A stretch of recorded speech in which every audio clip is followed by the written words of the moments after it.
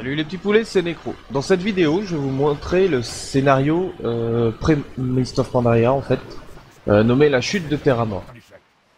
Donc cette, euh, ces scénarios sont euh, pour trois personnes, que ça peut être trois personnes n'importe, que ce soit heal, tank ou DPS, divisés en plusieurs phases. Donc la première phase, il faut, il faut aller activer 6 tonneaux.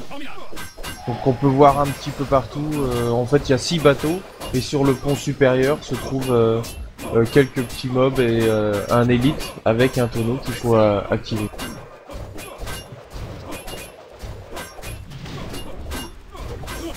Donc, en fait, il, s'agit de piéger ces tonneaux de façon à ce qu'ils explosent. Donc d'un point de vue roleplay.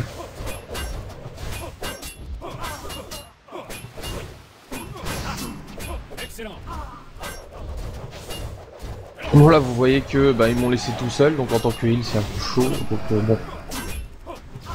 Évidemment vous devez savoir que euh, les, groupes comme ça au hasard c'est pas toujours bien bien bien fait donc je me retrouve tout seul à faire un tonneau en heal c'est un peu chaud. Enfin long, pas chaud.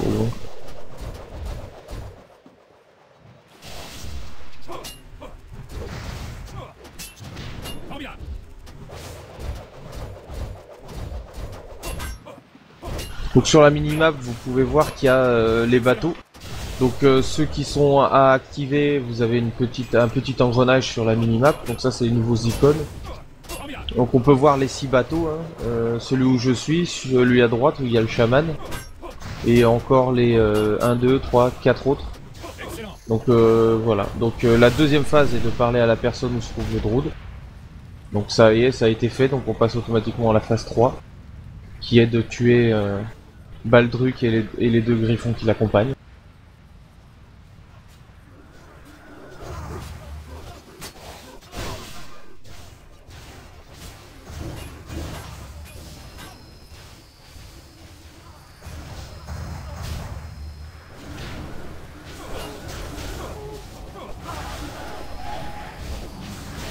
Bon, il est évident que j'ai accéléré la vidéo.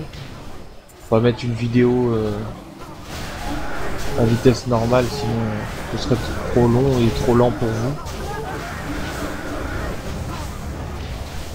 Euh, à l'origine, la vidéo fait 13 minutes. La vidéo du bah, de l'event seul. Donc euh, j'ai réduit à peu près de moitié. Donc euh, vous voyez qu'en 13 minutes c'est largement faisable. Et encore avec un groupe euh, bien rodé, par exemple un groupe de guild ou quoi, vous pouvez aller très très vite.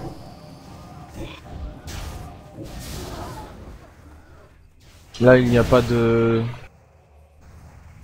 Il n'y a pas d'escorte ou d'event à suivre. Donc euh, on perd pas de temps à attendre que les gens discutent. Donc là, euh, cette phase-là, une fois, vous allez euh, devoir euh, saboter trois chars. Donc vous avez vu les chars. Donc vous aviez, vous avez les deux ici. Il y en avait un là à droite. Et exploser celui-là. Rien de bien compliqué en même temps, on est, on est sur stuff donc euh, à 3,53 de e-level, il y a certaines parties, euh, notamment ici en traversant la ville, qui peuvent être assez chaudes. Vous allez voir avec les agros foireuses, il y a des gens qui partent un peu euh, tout seuls devant ou qui restent derrière et euh, ça peut être vite chaud si on aggro tous les, tous les packs.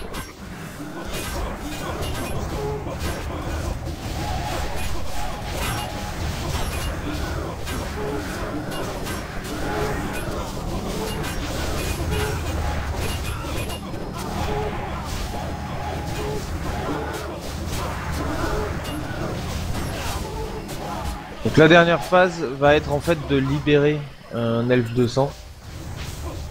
Donc pour cela, il va falloir aller tuer Edric euh, qui se trouve à l'étage.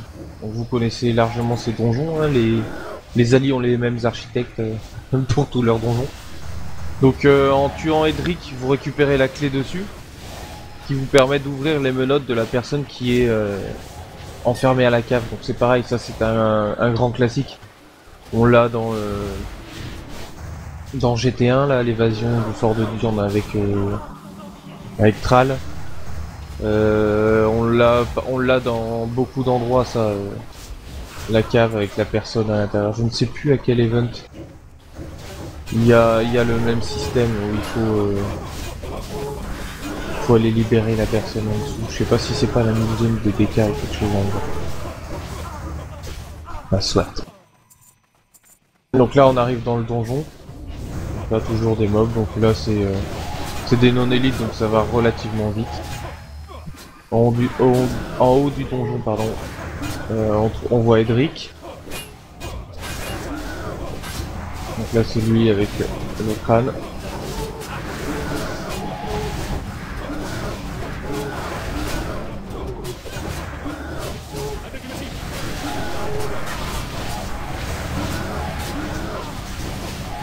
Bon désolé c'est les petits dialogues par-ci par-là, ils sont rapides évidemment en ayant mis euh, euh, en, ayant augmenté la vitesse euh, de la vidéo, ce sera pas forcément audible ou alors plutôt comique.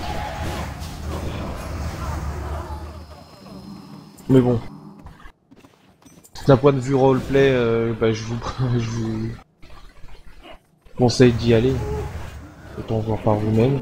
Donc là, lève 200, donc il suffit de tuer les mobs et puis une fois on, a, on libère, on a les vidéos. Donc je vous laisse profiter de cette petite vidéo de fin de scénario. Merci d'avoir regardé cette vidéo et à bientôt in game. Un vaisseau approche. Sa charge arcanique va raser l'île de Terramore et tous ceux qui s'y trouveront encore. Allons-y. Si vous passez à lune d'argent, n'hésitez pas à venir me dire bonjour.